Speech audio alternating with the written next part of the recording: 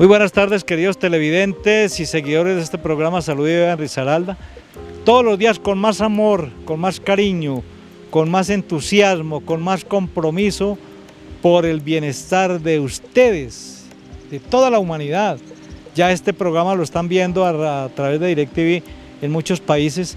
y ya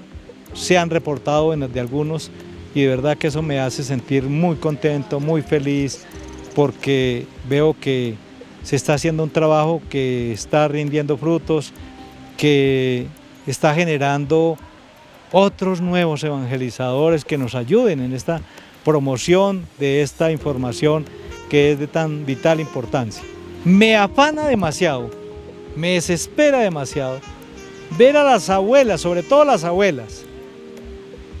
y también los abuelos, pero las abuelas son las que más tienen, y también personas jóvenes, un problema de artritis,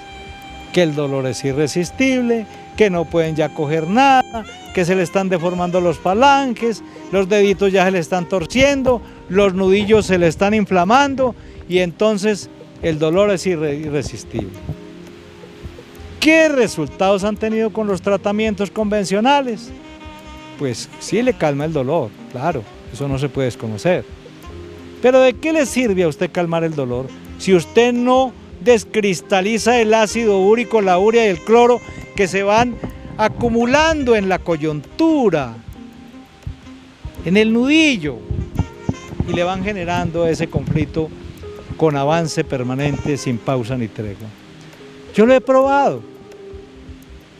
lo he citado y he mostrado testimonios, pero la gente se pone a pensar, uno les dice y se ponen a pensar, pero es que llevo tanto tiempo tomando medicamentos y donde el mejor eh, reumatólogo y,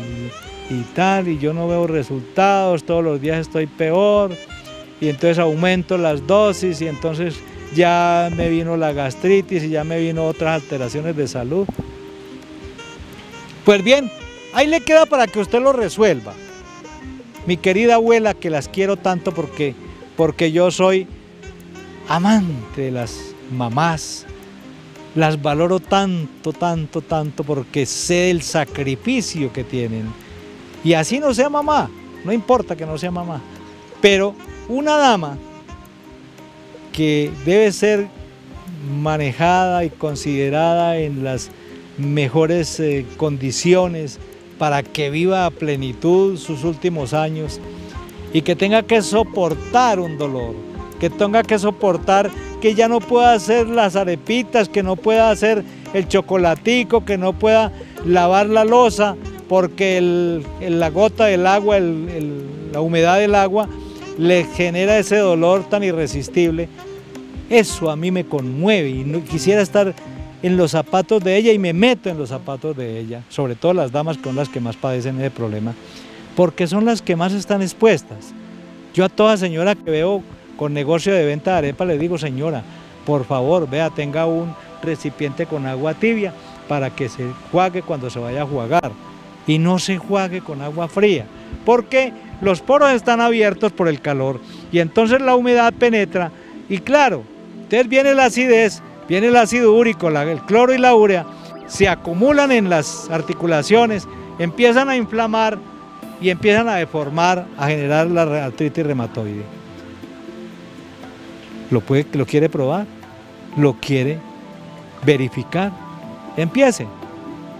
Empiece a tomarse los 10 vasos de esta agua diarios. Y me cuenta un tiempito si valió la pena ponerle cuidado al programa, si valió la pena ponerle cuidado a la sugerencia o no. A ver,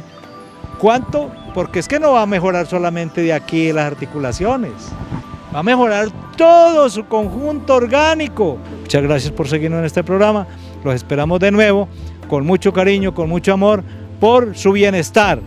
Es lo único que me afana, lo único que me interesa y que eso me genera la gran satisfacción, la gran alegría de vivir y de más ganas de vivir y de estudiar para el bien suyo y de todos los que nos escuchan y nos ven.